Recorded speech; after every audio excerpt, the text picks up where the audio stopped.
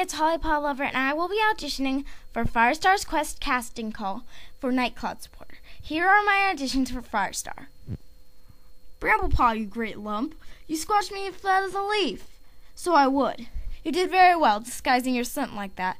Yes, Bramblepaw, of course. No cat could have done better. And here is my Brambleclaw. You didn't know I was there, did you? Go on, Firestar. Admit it. You had no idea. I know it. You if. I know if you were really been a Shadow Clan invader, you would have been crow food. And here is my gray stripe. The last ones just came in. The hunting patrol caught so much prey, Thorncloud had to had taken out the apprentices to collect it. Why? Did you want them? And here is my cinder pelt.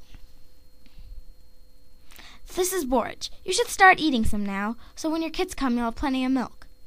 You'll be fine. Come back every morning for some more herbs. Call me right away if you think the kids are coming. I don't think it will be long now. And now here is my Skywatcher.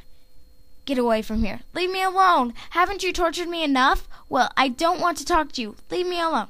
And I will be saying Leaf Dapple, but doing Leaf Dapple, but I will be saying Firestar's line with a Leaf, da- leaf Dapple accent. Here is Leaf Dapple. Bramblepaw, you gr- Sorry, one second, can I start over? Bramblepaw, you great lump, you squashed me as flat as a leaf. So I would. You did very well disguising your scent like that. Yes, Bramblepaw, of course. No cat could have done better. And here is my Petal Nose audition, but I will be saying the Gray Stripe line.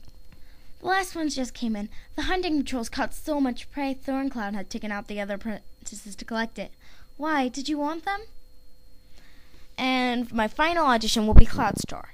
Yes, I have, because we can no longer live in our territory. Two legs have destroyed it. And that is all I will be auditioning for. Thanks for watching. Bye.